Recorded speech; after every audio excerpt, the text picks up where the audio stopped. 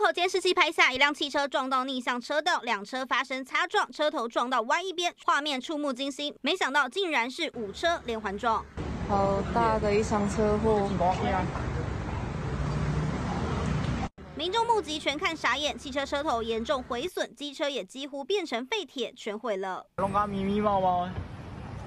五车连环撞车祸发生在高雄林雅区，十五号晚上十一点出，一名二手车商男子开着 B M W 要和客人赴约，但在路上不满被宾士车超车，结果追上去却去追撞前方机车，机车遭撞又撞上路边两辆汽车，这时 B M W 又失控逆向撞上对向车，瞬间马路大打劫，骑士遭撞头脚擦挫伤，送医治疗，而肇事的车辆 B M W 也被发现车牌是影印护背来的，根本是伪造车牌。驾驶三人均无酒驾刑事，以南涉嫌伪造文书，讯动一刑法第两百一十六条伪造文书现行犯，移送高雄地检署侦办。二手车商开 B N W 不满被超车，竟然就在路上竞速，结果撞上骑士，又逆向撞对向车辆，马路连环撞，交通大乱，车牌还是伪造的，亮出车祸赔偿金额不小，还得被移送法办，实在得不偿失。记者蔡双吉今天中城南山高雄采访报道。